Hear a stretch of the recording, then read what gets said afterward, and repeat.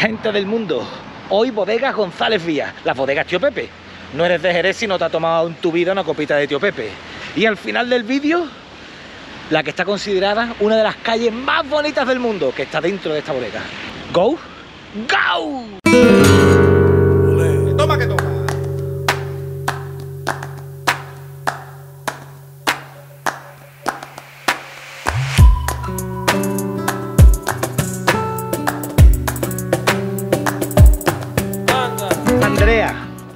Nos vas a enseñar las bodegas González Vía. Sí, la bueno, bodega, bodega Tío Pepe. bodega Tío Pepe. Sí. Pero, Esta es la bodega Tío Pepe. pero González Vía entonces, Es la firma, la firma es González Vía. claro. Pero esta bodega no es González Vía. Vale, sí, pero realmente son las bodegas Vamos pero esta bodega de toda la vida de Dios es la bodega de González Vía. Pero es la firma, Ahora es bodega Tío Pepe. claro. Siempre ha sido bodega Tío Pepe. Uy, yo no estoy de acuerdo con eso. Vale. No, no puedo estar de acuerdo con eso. De toda la vida de Dios ha sido la bodega González Sí, Vía. sí, la bodega González Vía, pero realmente todo el mundo la conoce como la bodega Tío Pepe. Esta es la bodega Tío Pepe, ¿vale, gente del mundo? Andrea, ¿qué tiene la bodega Tío Pepe que la hace diferente? A ver, yo creo que su encanto. Creo que es una bodega que tiene mucho encanto, que tiene unos rincones excesivamente bonitos, que te hacen transmitir eh, una calma que quizás otras no. Eh, todo su verde que hay alrededor. No sé, para mí, Una bodega especial. sí. ¿Por dónde empezamos? Bueno, Vamos a empezar por la bodega de la concha, ¿vale? Que como podéis ver tiene formita de concha y, y es muy especial. Ahora vamos a ver por qué.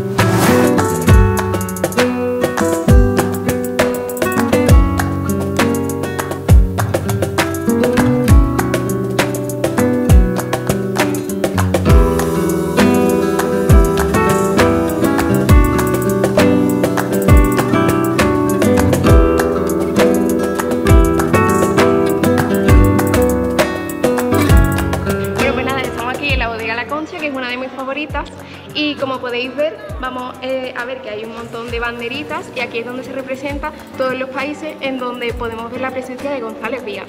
Siguiente paso, ¿dónde vamos? Mira, si quieres podemos pasar eh, a la cuadrada.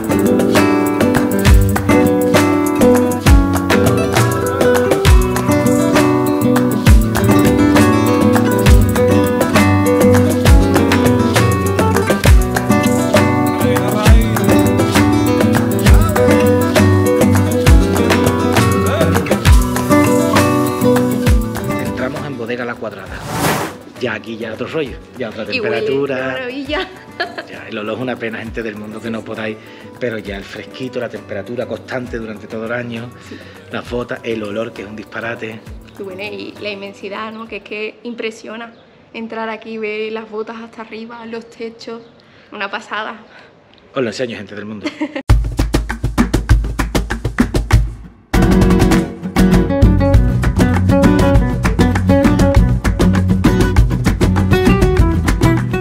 Andrea, no eres de Jerez si no te has tomado una copa de tío Pepe. Eso es así, Sí, sí. eso es así. Y la bodega González Vía está dentro de las 10 mejores del mundo. Eso es así. Eso es así. ¿En qué número? Estamos en la sexta posición. Sexta. Sexta. Qué bonito, un sexta. Sí, sí, sí, sí. Y de hecho, como dato, la calle Ciego, que la veremos más adelante. Sí, se lo he dicho a la gente del mundo en la presentación. Pues eh, es una de las mejores del mundo. Está Sí. valorada por Vogue y New York Times, una de las mejores calles. Oye, y el vino de Jerez tiene una, una particularidad, una peculiaridad que se hace de, de una forma diferente a lo- al resto de vinos del mundo. Sí, O sea, porque unos son añadas y aquí se utiliza un sistema de solera. sí. Solera y criadera. Así que vamos a empezar a ver cómo funciona. Pues hoy vamos a ver cómo funciona este sistema tan peculiar de solera y criadera. Esta línea que vemos a ras de suelo la conocemos por solera, por el mero hecho de que está literalmente a ras de suelo. Luego las, eh, las filas que están por encima de la solera las conocemos por el nombre de criaderas. Y ahora vamos a explicar un poco cómo funciona este sistema. De, de la solera sacamos eh, la mitad de- del líquido de la bota para embotellar y para que luego pues os bebáis vino bastante fresquito en las tabernas. Y de las criaderas vamos sacando y lo vamos rellenando al último, ¿vale? En la primera línea es donde se mete eh, el vino de, de las vendimias, el más nuevo, por ejemplo, el de este 2023 se meterá en esa línea y se irá sacando la mitad del líquido para ir metiéndolo en la segunda, de la segunda en la tercera y de la tercera a la solera. Y así es como funciona.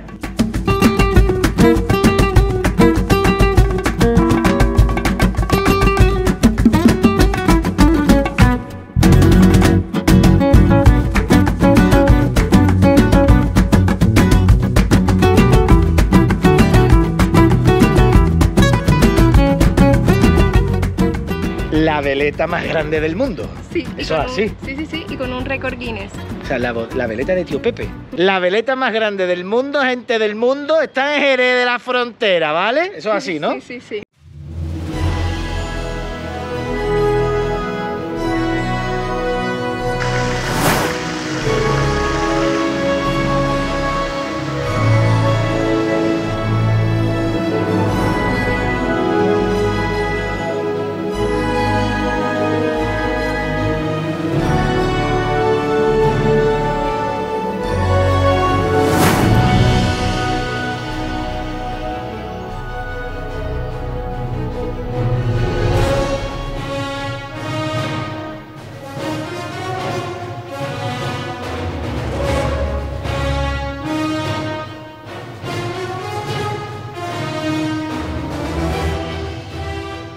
Andrea, Cuéntame. ¿cuánto vale entrar en la bodega tío Pepe?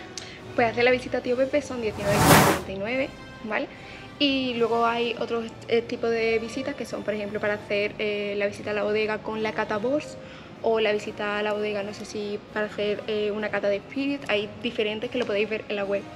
Vale, pero la, la básica, 19,99. 99, sí. Pues no ponerlo a 20. Claro. Lo que es el marketing, ¿eh? Lo que es el marketing. Totalmente. Ahora vamos a ver la bodega La Constancia, que se dividen en dos. Vamos a entrar, si quieres, primero en esta de aquí, que es más chiquitita, que es la que sobre todo se usa más para los eventos y realmente tiene- tiene muy pocas botas y es muy antigua. Bueno, y las vistas, porque o sea, esta bodega está en un marco privilegiado. Es que desde aquí estoy viendo el Alcázar de Jerez. Os lo enseño. Súper bonito.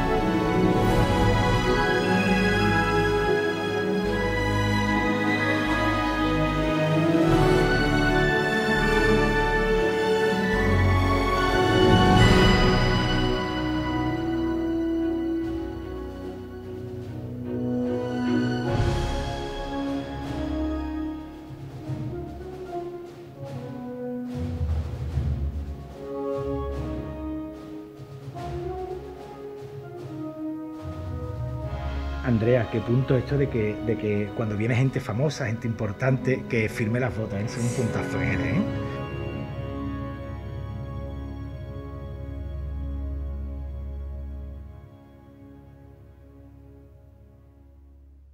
Bueno, pues quiero contar una de las historias más entrañables que hay en la bodega, que a mí me encanta, y es la historia del famoso ratoncito, que no solo era uno, era más de uno, eh, que podemos ver que tenía su propia escalerita y le- se la ponían para que bebiese sobre todo solera. Y bueno, y esto es así porque hace mucho, mucho, mucho tiempo lo que hacía el, el capataz de la bodega cuando veía que había ratones es que le preparaba quesito y se lo ponía. Y con la broma y tal, pues le quiso poner una copa de solera para ver si realmente le, le gustaba. Y literalmente se emborrachaban a solera. Y entramos. En la bodega Los Reyes. Estamos entrando ahora mismo en la bodega Los Reyes, porque está dedicada a los Reyes. Claro.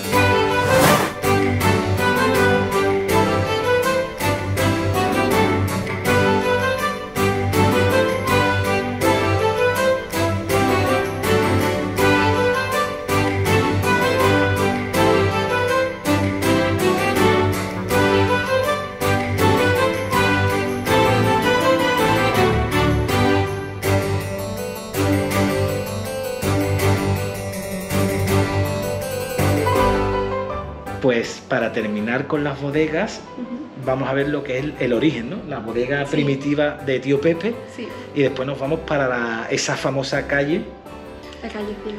una de las más hermosas del mundo, la calle Cimo. ¡Gente del mundo! Tío Pepe.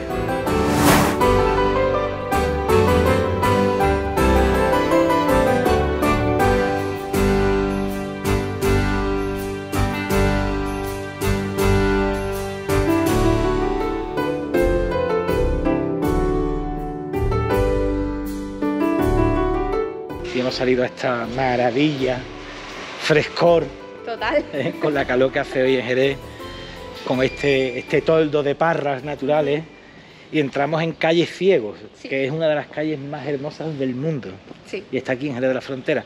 Esta es una de las calles antes que eran transitadas, pero que por naturaleza de la urbanización de Jerez se quedó dentro de la Claro.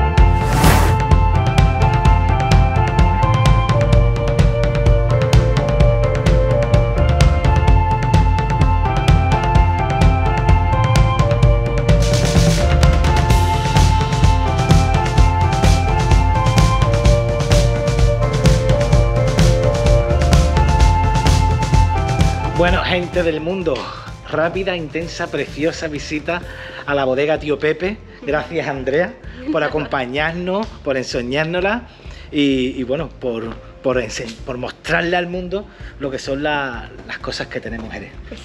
Andrea, go. Go. ¡Go!